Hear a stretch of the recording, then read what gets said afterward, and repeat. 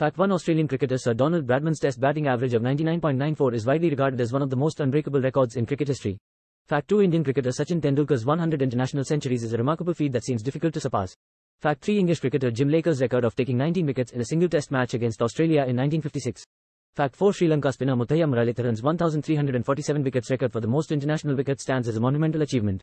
Fact 5 West Indian fast bowler Courtney Walsh's record of playing 43 consecutive test matches without missing one is an incredible testament to his durability and skill.